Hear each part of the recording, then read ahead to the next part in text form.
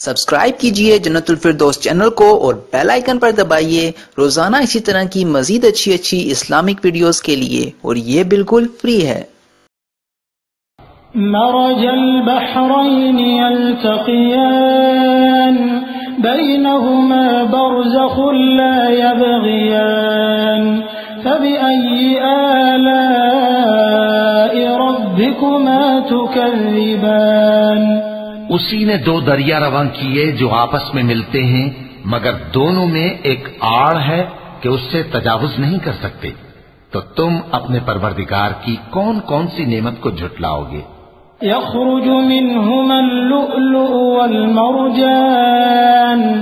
فبأي آلاء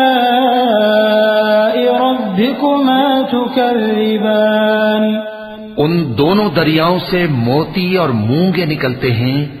تو تم اپنے پروردگار کی کون کون سی نعمت کو جھٹلاؤ گے؟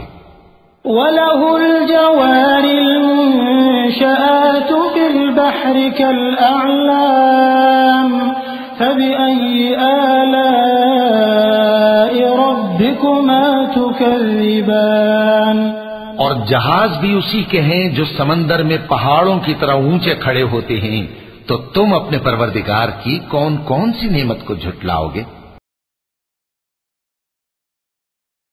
حي على